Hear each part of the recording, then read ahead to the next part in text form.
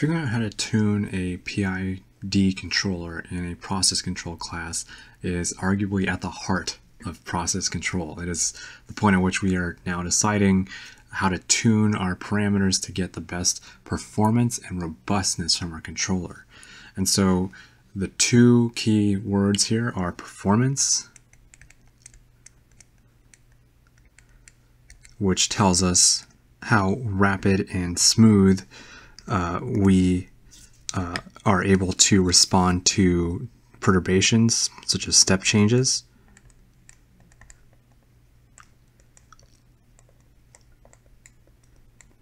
And robustness.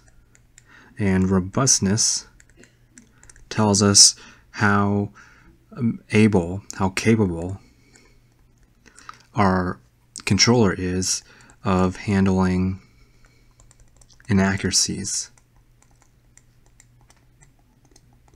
And so if our model isn't perfect, which no model is, uh, do we have a controller that is robust enough to be able to handle that? And then another thing to account for is as time evolves, perhaps your model is changing over time as well, and we can't call it a necessarily static system.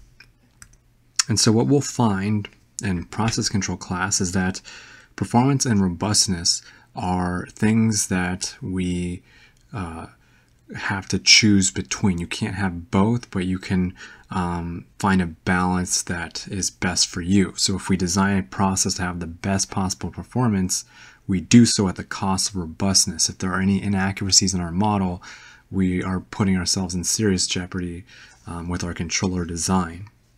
And so uh, the first thing um, we'll do is we'll consider the uh, classic closed loop transfer function model in which we have some demanded uh, set point uh, value. And uh, we'll have some measured value entering an error block and we will have some kind of controller analyzing the error, passing it on to a valve for instance then onto the actual process itself and then out of the process, we have some kind of measuring block or uh, some kind of transmitter. And uh, each one of these has its own dynamics. And so uh, commonly what we'll do uh, for the sake of simplicity is we will lump these blocks into one block and it, we'll call it GP um, just so that we can incorporate if we had a bunch of time delays, for instance, all into one nice transfer function block. And so typically the models we'll work with are a little bit simpler and they'll just be uh, your controller feeding into your process and then um, you'll have feedback. And so you don't need to worry as much about um, all of this other stuff. And so if we write down the transfer function, the closed loop transfer function um, of this uh, block diagram that I've just drawn, we would find that the output over the in, um, over the set point is equivalent to the product of all the blocks or the product of the two blocks between the output and the set point divided by the characteristic equation which is 1 plus the product of every block present in our function or um, our control block and so this is our transfer function that uh, we're going to be working with in our uh, PID controller design um, mechanisms and optimizations. And so the the thing that we're going to be considering when we're analyzing these kinds of closed loop transfer functions in this case would be this quantity on the left, y over ysp. And so uh, what we'll have is we'll define a term y over ysp d sub d, and that denotes that it's the desired um, response of our system. And so um, in a perfect world, uh, we can start out by asking ourselves, what is the range that we can expect for this kind of performance value? And if we let this thing equal 1, uh, we need to ask and go back to our physical intuition. If we have a y over ysp uh, sub d value equivalent to 1, that means that we have no uh, offset in our, um, it means that our uh, process will respond instantaneously to set point changes. And in the case of this, we would have no error present because we have instant uh, response. And I apologize for the poor English, but you get the idea. If we have no error present, there will be nothing to feed into our, uh, there, there'll be no reason to have a controller in the first place. And so this notion of having a performance value, y over yspd, uh, equivalent to 1 is impossible. It is physically impossible.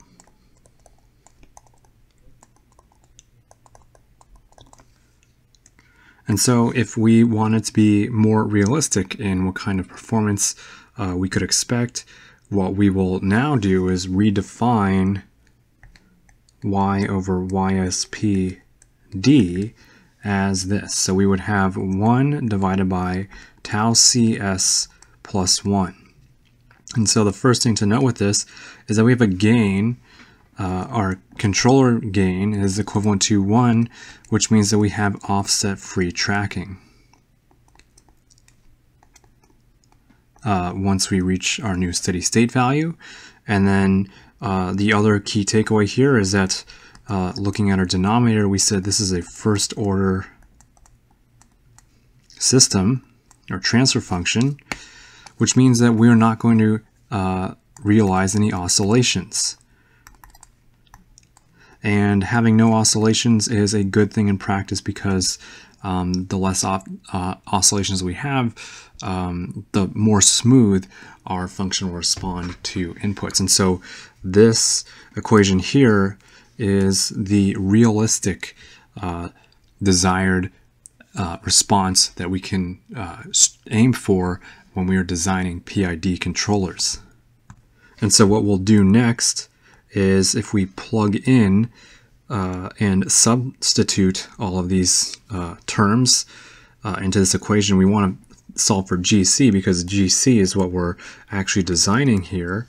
What we would see is that we'd have a, a term 1 over GP, and this tilde denotes that it is the model GP, so there can be inaccuracies present, and that is equivalent to the quantity y over ysp sub d divided by 1 minus y over ysp sub d. And uh, this is uh, just some algebra that's going on in the background. And so the next thing that we will do is um, also plug in the actual value um, of y over yspd, which is 1 over quantity tau cs plus 1, as well as we're going to let gp tilde be equal to kp divided by tau ps plus 1. And so the thing you'll note here is that this is, we're assuming that we have a first order uh, process. And so that's not always the case, but uh, for the sake of this example, that's what we're going with.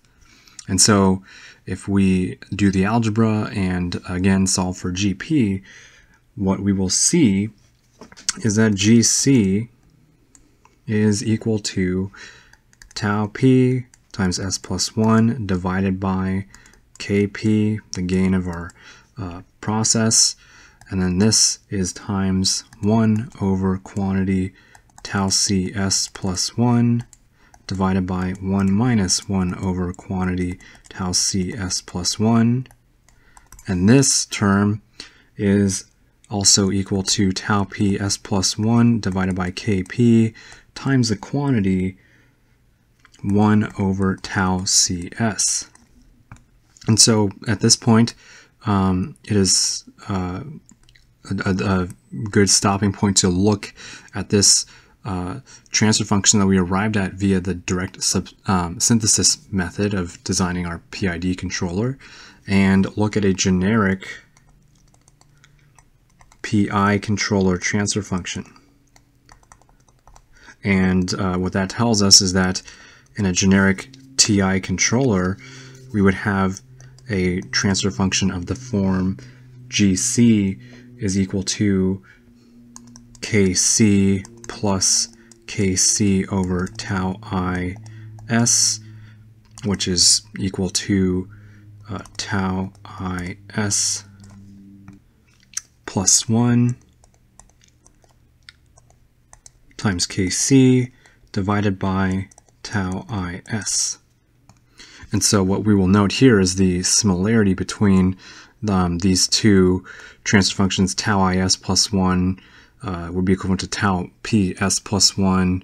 And then, um, so what we can do is um, via the direct synthesis model, we can now say that if we wanted to know what the gain of our controller should be for a first order process, it will be equivalent to tau p divided by kp times tau c.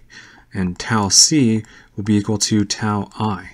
And so this is a very important uh, result to get to via the direct synthesis model because what we see is that our controller parameters are functions. They're explicitly defined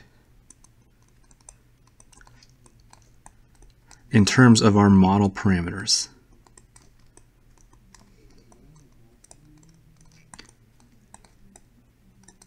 And uh, this is a big step forward in terms of uh, previous uh, PID uh, uh, design methods that were used in the early 40s.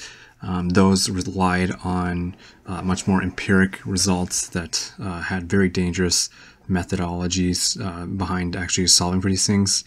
Um, but this is the key takeaway that we get from the direct synthesis model.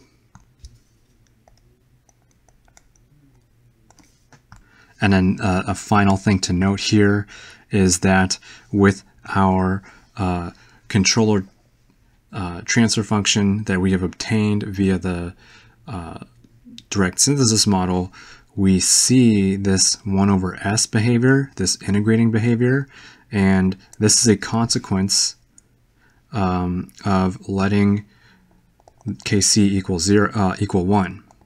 And so because we let kc equal 1, we have offset free tracking. And offset free tracking is a good thing because we want our output to eventually reach and stay at our uh, demanded uh, set point value. And so this wraps up um, a basic overview of the direct synthesis uh, model for designing PID controllers. And I hope you guys find this useful. Let me know if you have any questions and thanks for watching.